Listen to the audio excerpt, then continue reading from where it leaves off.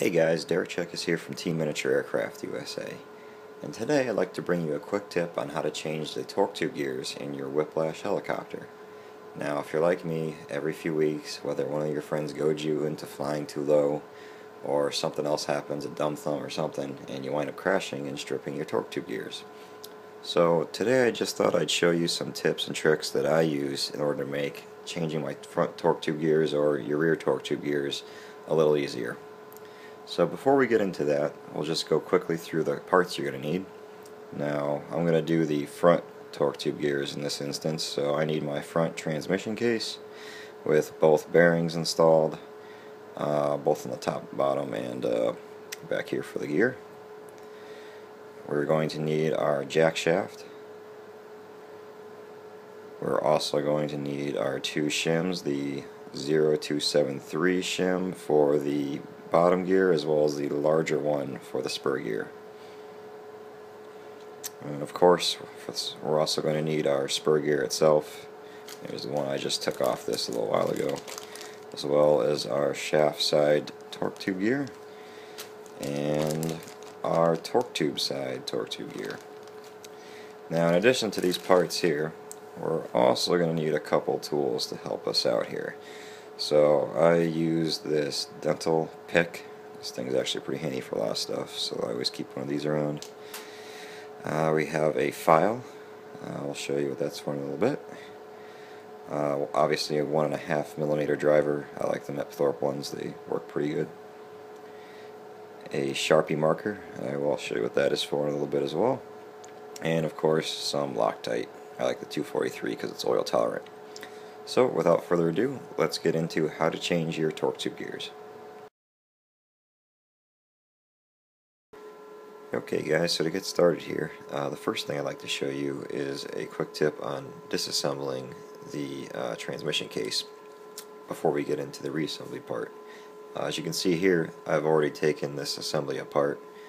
Uh, it's pretty straightforward getting this whole assembly apart. The only thing I really want to point out in this segment is to push the jack shaft out uh, down this way. Uh, the reason for that is if you push it out this way, I've seen sometimes where if some of the Loctite managed to wick its way down past the set screw and onto the shaft, between the shaft and the sleeve, it can be a little bit difficult to get the sleeve to separate from the shaft. Uh, also, sometimes when you thread the set screw in, if it doesn't go in perfect, it can create a little bit of a burr and this will also make it a little bit tough sometimes to get the uh, metal sleeve to break loose. So the way to solve that is to push it out this way and that way you will be keeping the sleeve pressed against the bearing here and it can't come out of the gear. So just one thing to keep in mind while taking this apart. Uh, on to our next segment. Okay guys, a few more things I want to go over before we get into the reassembly of the front transmission case. Uh, a lot of times I see people just take a bunch of Loctite and slobber it all over these set screws when they go to install the uh, spur gear and the bevel gear onto the jack shaft. And the problem with this is that when you go to thread the set screw into the gear, you wind up um, threading lightly through the plastic and all the Loctite winds up in the plastic portion of the gear instead of the metal. So by the time the set screw gets into the metal sleeve, there's no Loctite left on it, and you basically have nothing holding the set screw in place. So what I usually recommend doing is I take my pick here and put a little bit of Loctite on the tip of it and then I go ahead and apply that to the middle of the metal sleeve threads inside here on both sides. And this way I'm not slobbering Loctite all over the inside of the gear here, which will uh, actually wind up bonding the metal sleeve to the jack shaft, making this difficult to remove later. And I'm also ensuring that I do indeed get Loctite into the metal portion of the gear. Um, you can also, when you go to reassemble this, put a little, little bit on the very tip of the set screw just to give you maybe a little bit extra in there but again I don't slobber on there and I try to put most of it in through here. The other thing we want to look at quickly here whoops, is to look at the jack shaft itself. Um, because of the way the set screws are engaging these holes here, sometimes you can get uh, either some Loctite on here or sometimes if the set screws uh, dig into the jack shaft just right it can cause a little burr here on any of these holes so what I like to do is take a file and feel those burrs out and then just lightly file them away. Uh, this way when you go to slide your jack shaft through your, the gears it slides nice and freely like that. Uh, I already cleaned this one up so you can see it's sliding nice and freely but if it wasn't you're going to want to check each of these holes and make sure you clean them up. So without further ado we'll get into the reassembly process now.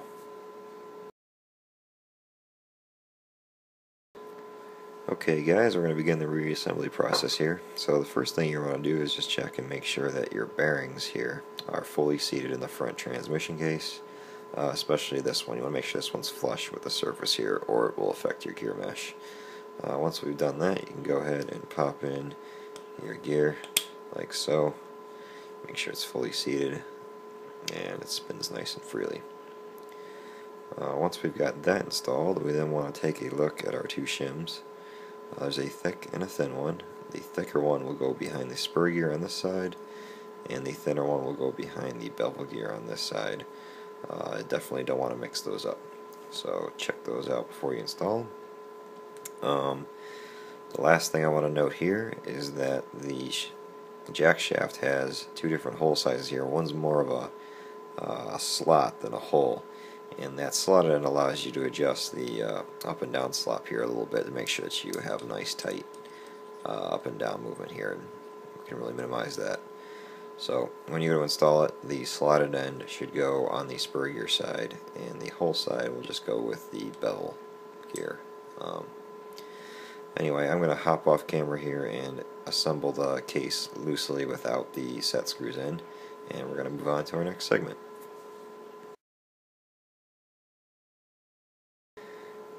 Okay guys, so I've got my spur gear and bevel gear installed in the front transmission case with the jack shafts and the two shims and I'm getting ready to install my set screws here.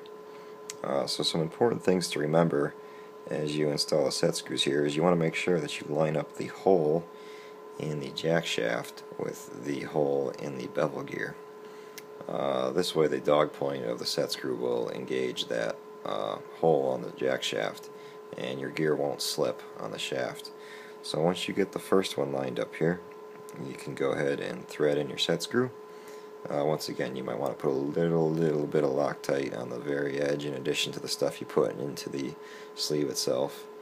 Uh, and then you want to just try and feel for when the dog point engages into that, uh, that step on the jack shaft.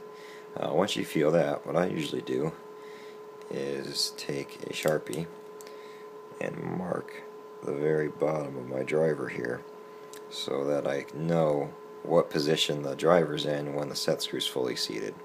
That way when I go to install my second set screw on this side I can tell and make sure that it engages the uh, hole on the jack shaft for the set screw. Because sometimes it can feel like it bottoms out and uh, it's not in there all the way. So this way I have a visual check of making sure that my set screw is all the way installed onto the jack shaft. Um, and I guess one final other closing comment as you wrap up your install here is to make sure when you tighten the set screws for the spur gear and the bevel gear here, you want to tighten both sides evenly so that the uh, gear doesn't get cocked on the one side of the shaft. Um, that's very important. So I usually tighten each one a little bit evenly. And again, I don't go gorilla on it. When I tighten it, I hold it by three fingers and uh, I just tighten it a little past bottom. Uh, again, you don't want to go fistful onto these set screws, you will just strip them out. Um, and one more thing to look at is to make sure that when you do tighten both ends, you don't have any up and down slop on the jack shaft. Uh, this should be slop free. Uh, you can do that by pushing the spur gear up uh, against the bearing here lightly while you tighten the set screws down. Uh, and again, make sure that you line up the set screw with the slot in the jack shaft. Uh, one final tip, I suppose, when you're installing your boom onto the uh, back of the transmission case here, make sure that when the torque tube goes into this uh, gear here that you don't push the gear out of the bearings. Uh, it can get pushed out just a little, little bit and that will cause some binding in your drivetrain. So as you put the torque tube in, just uh, push back on this after you get it installed and make sure that it's still fully seated.